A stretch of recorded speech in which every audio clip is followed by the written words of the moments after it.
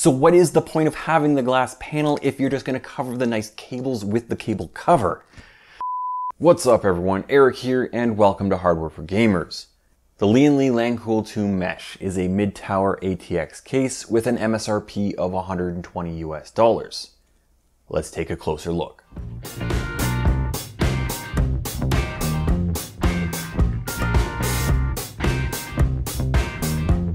The dimensions of the Lancool 2 mesh are 49.5 centimeters high by 23 centimeters wide by 48 centimeters deep.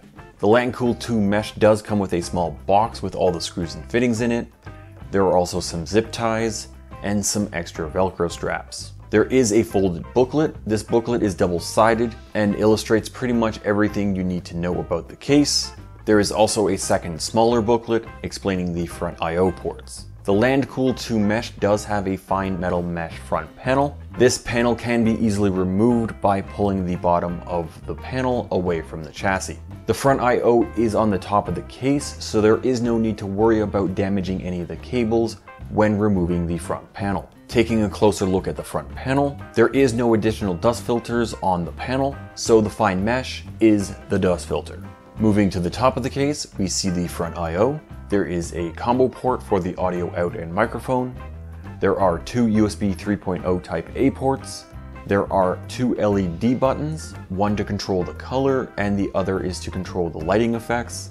There is also the reset and power buttons. Now Lian Li also provides a cutout for an optional USB 3.1 Type C port for an extra $15. I think. It is sold out at both Newegg and Amazon.com at the time of filming. So I was only able to actually see any third party sellers and they were charging up to wazoo for them. There is also a large magnetic dust filter along the top of the case. Moving to the rear of the case, we see the location of the rear I.O. and tooling for a 120mm exhaust fan. There are seven horizontal expansion slots, all with reusable covers. You can remove all the expansion slot covers and install Lian Li's vertical GPU kit, but that kit does cost an extra 56 US dollars. And finally, at the bottom, we see the power supply location. Taking a look at the bottom of the case, there are four plastic feet. These feet allow for 28 millimeters of ventilation. The feet also have rubber pads on them. There is also a removable dust filter for the power supply. This dust filter is accessed from the rear of the case. Now moving on to the right side of the case, there are two side panels. One is steel and the other one is tempered glass. Both are held in by magnets. Now to remove the glass panel on the right side, you need to first open the lower steel panel, and you do this by pulling the small tab located at the rear of the case away from the chassis. You can then swing the glass panel open. Once the panel has swung open more than 90 degrees, you can slide the panel up and lift it away. Now just make sure when you're doing this to actually have some weight on or in the case because it is possible for the case to tip when lifting the glass panel. The glass panel is not clear, it does have a slight tint to it. Now the left side panels are very similar, so to remove the glass panel on the left side, you need to open up the lower steel mesh panel. This time there is a small groove located on the panel at the rear of the case. And again, pull the top of the panel away from the chassis. And again, you can then swing the glass panel open. Once the panel has swung open more than 90 degrees, you can slide the panel up and lift it away. And again, just make sure when you do this to have some sort of weight on or in the case because it is possible for the case to tip. And I am emphasizing this point, so just be careful. Now it is possible to leave the glass panels on when building in the case, but I have seen enough of Linus's videos where entire builds nearly tip over, so I highly recommend taking the panels off when building in the case. Now to put the glass panels back on is pretty simple. You just have to realize that the top pin or hinge is slightly longer than the bottom one is. Now before taking a look at the inside of the case, I do buy all the products that I review myself, so if you like what I'm doing here, can you please like this video and subscribe? It helps out the channel a lot. And speaking of helping out the channel, I also have an Amazon Associates link. So if you click on one of the links in the description below and then add something to cart and order it, the channel gets a small kickback. Now, with all that out of the way, there is a basement, and the top of the shroud has two removable ventilation covers. These covers can hold a 2.5 inch drive, or can be removed and you can then install a 120 millimeter fan instead. Now these ventilation holes or slats along with the lower mesh panel should allow the GPU to access a lot of air, so I'm not sure if adding a 120 millimeter fan to the shroud will make a significant difference to the GPU temperature. But I guess it is something I can run some tests on and see if this is actually the case. The shroud also has two very large cutouts for running cables. There is also a cover along the front, and by removing this cover will allow you to install 360 millimeter radiators. Taking a look inside the basement from the left side of the case, there is a 3-bay drive cage with sleds. These sleds can hold either a 3.5 inch or a 2.5 inch drive. Now Lian Li does sell a hot swappable backplate for this drive cage, but that is an extra 15 US dollars. Now taking a look at the motherboard tray, there are two cutouts along the top for your EPS cables and fan connectors, but most of your cables will be running through the large vertical cutout, which does have a cover. Now this cover can be flipped, but I'll get more into that in a little bit. The Lancool 2 mesh does support mini ITX, micro ATX, and ATX motherboards. Lian Li says there is support for eATX motherboards up to 280 millimeters in width, but the eATX form factor is not standard, so your results may vary. The maximum GPU length is 384 millimeters, but that will be cut down if you go with a front mounted radiator, and the maximum CPU cooler height is 176 millimeters. Turning the case around to look at the back side of the case, there are two 2.5 inch dry sleds on the back side of the motherboard tray. There are also two cable covers. These cable covers are each screwed in with one screw, and FYI, these screws are not captive, so if you don't hold onto them, the screws will drop. Now behind the cable covers, the backside of the motherboard tray does have a few cable tie-offs. Lian Li also provides two Velcro straps to help with cable management. There is also a plate meant to hold a fan hub. This plate can be moved to suit different setups. Okay, as I mentioned before, the vertical cable cutout and cover can be flipped or removed. To do this, you first need to remove the Velcro straps on the backside of the motherboard tray. Then you need to undo two screws on the front side of the motherboard tray. To flip the cutout, rotate the cover 180 degrees and then screw in the two screws. Now you don't actually have to have the cover installed, but if you don't use the cover, then you won't be able to use the Velcro straps like cable runs. And finally, there is 25 millimeters given behind the motherboard tray for cables. Moving on to the basement, there are two additional 2.5 inch drive sleds fastened to the steel panel. Now that means you can have actually up to nine drives in this case. Now with the drive cage in its stock orientation, there is 216 millimeters given for the power supply and cables.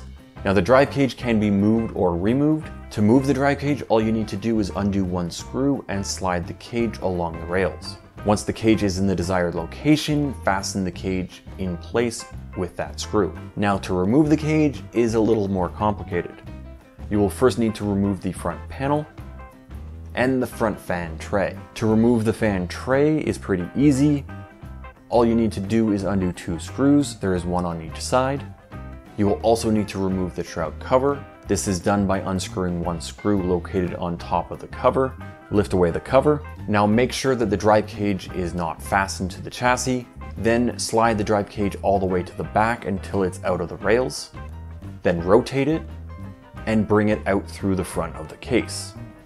Now to reinstall the drive cage, all you need to do is just reverse everything I just said and did. So with the drive cage in the frontmost position, there is 280 millimeters for the power supply and cables. But if the drive cage is in this location, you will no longer be able to install a 360 millimeter radiator in this case. Now if the drive cage is removed, there will be just over 400 millimeters for the power supply and cables. But that will be cut down if you go with a 360 millimeter radiator. Moving on to the cooling options of the Lancool 2 mesh, there are three fans pre-installed, these are all 120 millimeter ARGB intake fans at the front, but the Lancool 2 mesh can kind of support up to 8 120 millimeter fans. So that's 3 fans at the front, 2 fans along the top, with 1 fan at the rear, and you can also have 2 fans on top of the shroud. Now if you prefer to have 140 millimeter fans, then you can have up to four 140 millimeter fans. So that's two 140 millimeter fans at the front and two 140 millimeter fans along the top. For radiator support, you can have up to 360 or 280 millimeters at the front, and along the top you can have a 240 millimeter radiator when using the leftmost rails. Okay, that's it for the overview. I guess it's time to build a test system in this case.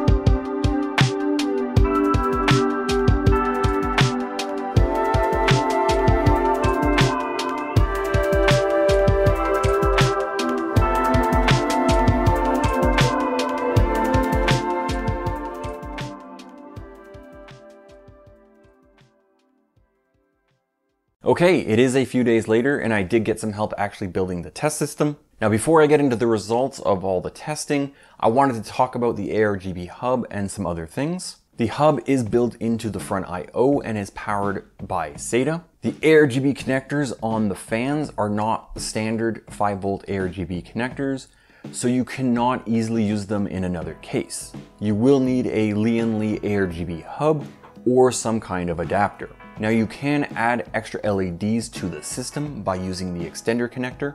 However, if you do want to add multiple LEDs, you will need to buy a 3-pin 5V ARGB splitter.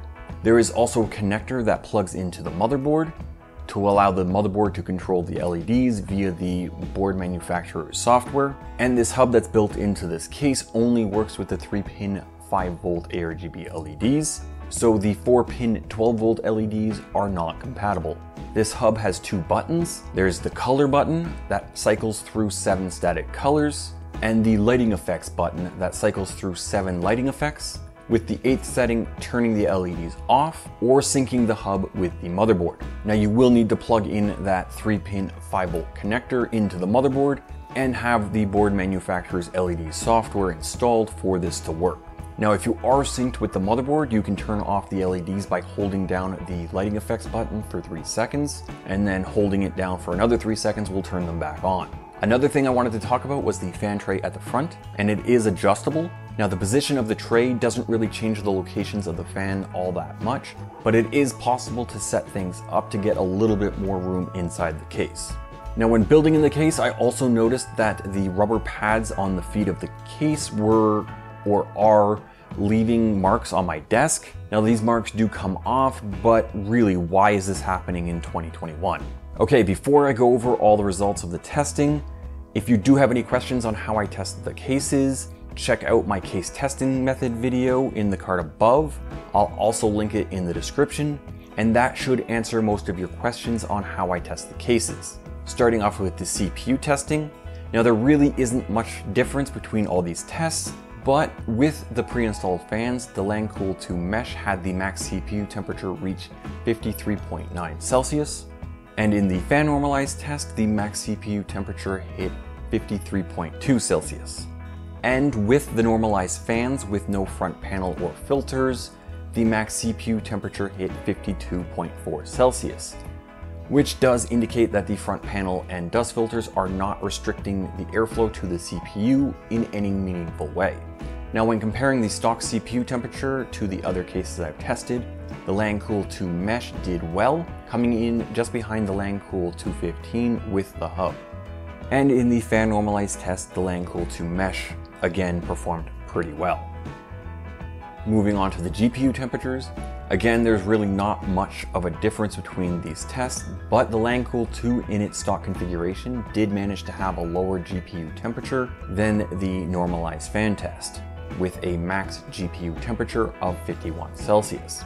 And everything else is pretty much within the margin of error of one another, so there you have it. Now when comparing the GPU temperature of the Lancool 2 Mesh of the other cases I've tested, its stock configuration performed well, pretty much tying it with the Lancool 215.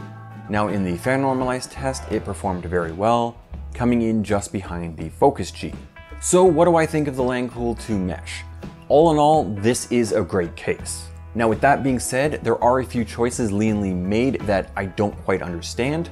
First off, the cable covers with the glass panel. The reason to have the glass panel on the right side would be to show off your cable management skills, but then Lian Li includes these cable covers to cover the nice cable management. So what is the point of having the glass panel if you're just gonna cover the nice cables with the cable cover?